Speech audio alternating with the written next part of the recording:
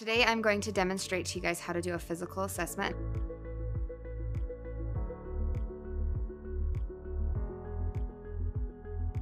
I'm going to go from the start as if I entered the patient's room and then I will walk you through the entire section, okay? First I'm going to walk in, I'm going to do hand hygiene. Before touching your patient, you always want to wash your hands.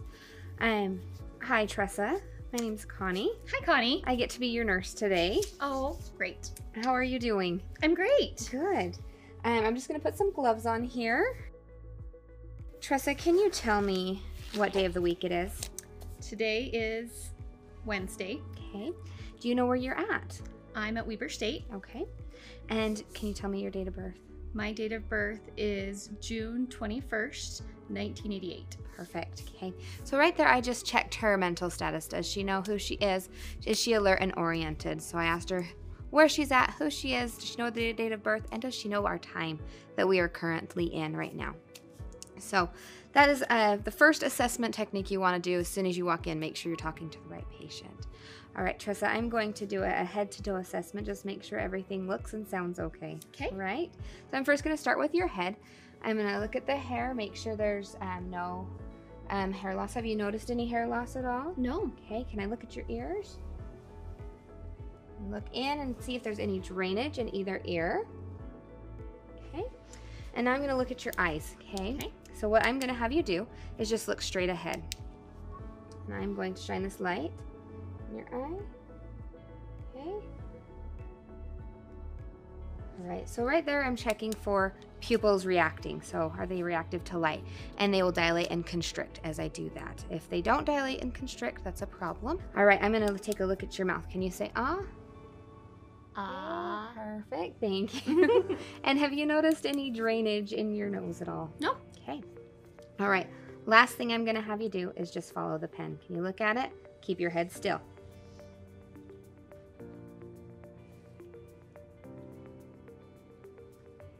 Perfect. All right. So that is the head, ears, eyes, and nose. I'm next going to move down to the throat here and just feel for any lymph nodes that um, might be inflamed. You would be able to feel them um, rather easily if they are inflamed. All right.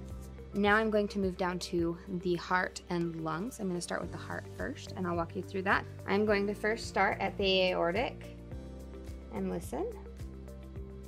So I'm going to find the aortic at the second intercostal space right to the sternum. I will move to the pulmonic, which is at the second intercostal space on the left side of the sternum. Next, I move down to Erb's point, which is at the third intercostal space right um, to the side of the sternum. I then move down to the tricuspid. This is right underneath the breast tissues and at the fourth intercostal space. And then our last one is the mitral or apical. This is completely under the breast tissue and it is right um, below the nipple line or midclavicular line and at the fifth intercostal space is where you'll find that. All right, so that is your heart sounds. Everything sounds good there, Tressa. I'm now going to listen to your lungs, okay? So with lungs, you're going to listen to between six to eight spots, and you're going to listen to, to the right side and the left side. You're going to compare sides. You're not just going to listen to the left side all the way down and then the right side. All right, take a big deep breath for me. Perfect. All right, you can breathe normal for a minute.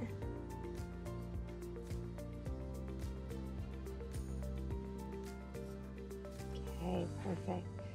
All right, so notice how I went down from one side to the other side. That is helping me compare um, both sides to make sure they sound the same and that there's no um, abnormalities there.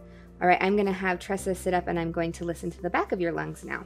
All right, so one thing to take into consideration as you're listening to the back is where are the shoulder blades or the scapula. You do not want to listen over those. Um, so you'll listen in between. It's right along the spine that you'll listen when you're listening to the upper lungs there.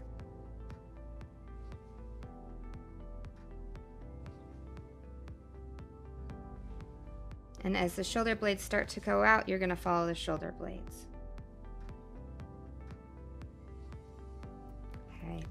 One thing to take note when you're listening to the back of the lungs, don't listen down here. This is the hip area.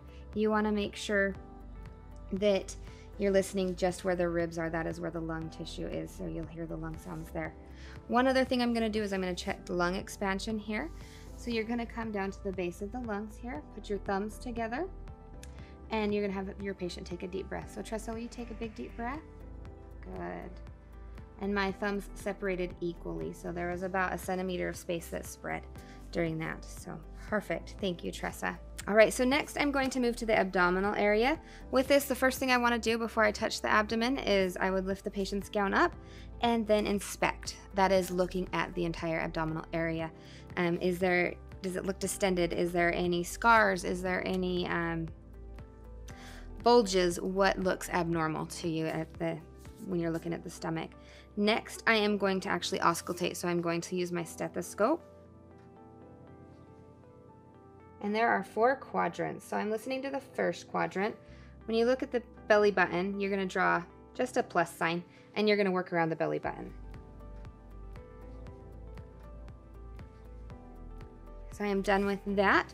All right, I'm going to just um, touch your stomach. Let me know if it hurts anywhere, okay? Any discomfort? Okay. So I'm as I'm filling her stomach, I'm feeling for different bulges, different um, shapes there and seeing if she has any pain. Watch their facial expression because sometimes they'll tell you there's no pain, but they may grimace. So double check and make sure you're watching facial expressions as they're um, telling you yes or no to those pain, uh, if there's any pain at all. I'm going to ask a few questions pertaining to the abdominal area as well. Tressa, are you um, passing gas? Yes. And are you having normal bowel movements? Yes. When was your last one? This morning. Perfect. Um, can you describe your um, normal bowel movement? They're just normal color, normal consistency, no constipation, Okay. no diarrhea, anything like that. Just formed? Yep. Brown? Yep. Perfect. Okay. All right. Now I'm going to move down to the um, urinary system. I am going to palpate just where the bladder is, which is the lower area. If she had a full bladder, you would be able to fill it up to where the belly button is potentially, depending on how full their bladder is. So um, always make sure your patient does not have to pee before you push, or you may cause them to wet the bed.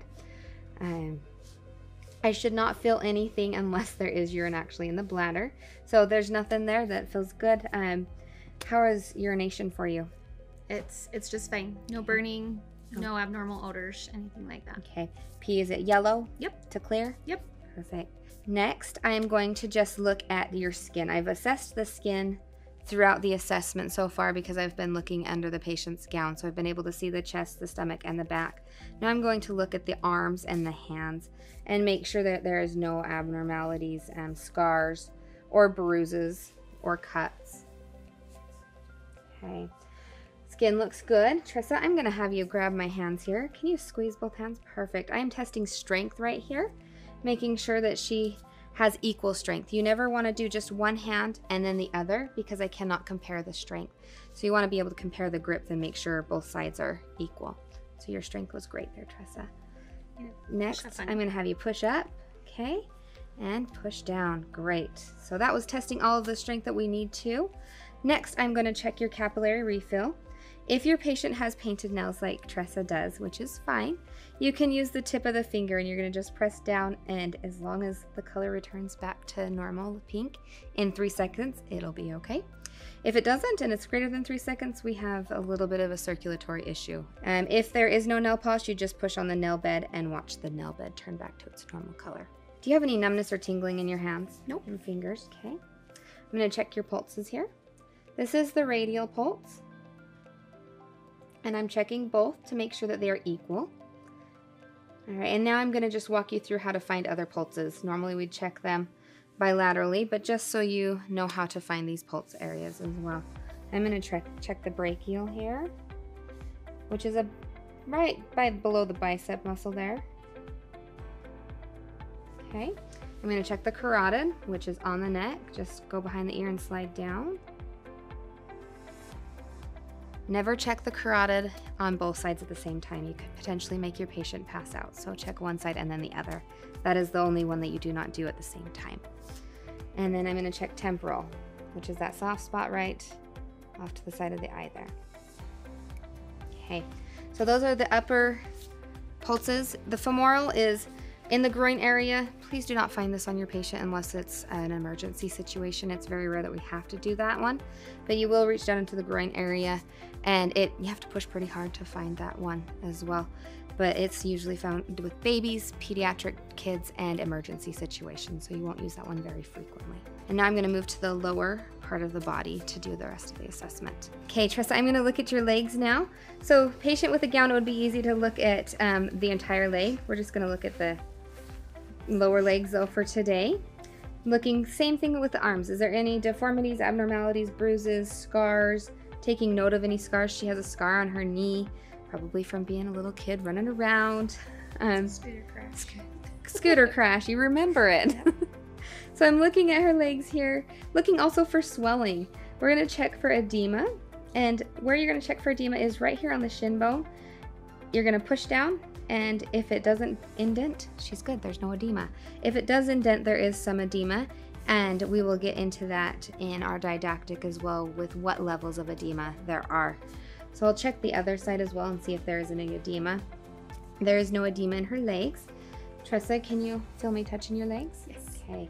What about your feet? Can you feel me touching your feet? Yes. Okay. Can you wiggle your toes? Perfect. I'm now going to test strength on um, her feet as well and legs. So Tressa, push down like you're pushing on a gas pedal. Perfect. And now pull those toes up towards your nose. Great. Okay. Equal strength there. And last thing I'm going to do here is I'm going to check cap refill and pulses. I'm only going to take one of your socks off though, Tressa. Okay.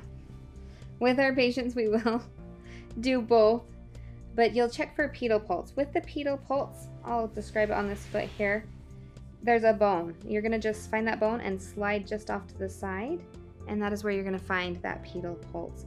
They can be kind of tricky to find, and that's okay. If you have trouble, please ask your instructor, and we'll come and help you find that pedal pulse. And so find the pedal pulse. I'm going to compare both pedal pulses now. Okay, both are equal. The other pulse I'm going to show you is the posterior tibialis. Find that bony prominence on the inside of the ankle and just slide back from there. It's the little indentation and that is where that posterior tibialis pulse should be. Okay, one more pulse, and this one's a difficult one. Um, I've only found it on a few students and a few patients, so it's okay if you struggle with it. So I'm going to show you the popliteal pulse. This is where you find the top of the kneecap and you go right below that kneecap area with your both hands in the end. And you're going to just have the patient dead weight in your um, hands so you can feel that pulse because it is a very deep artery that you're trying to find there. So that one takes practice to find. When you are in lab, we get to practice that and be hands-on and practice with each other, each other finding that popliteal pulse, and your instructors can help you find that as well. Okay, so those are your pulses that you'll find on the patient, and you will practice each of these in lab as well as in clinical. Last thing that I want to show you is cap refill, and then that is pretty much our entire assessment there. All right, so cap refill, it's the same thing as what we did with the fingers. Her toenails are painted. So I'm just going to do the tip of the toe and watch for the three seconds of cap refill. If there's toenail polish on, you'll do that. If there is no to toenail polish, you'll do the uh, on the toenail just like you would with the fingernail. Also with our elderly patients, which in clinical being first semester, you'll work with a lot more of the elderly patients. Their nails may be thicker and hard to see through, so you may have to use the tip of the toe as well for that because you can't see the cap refill through the toes there. I think I have done everything. Yeah. Okay. So that is a head to toe physical assessment. It takes practice.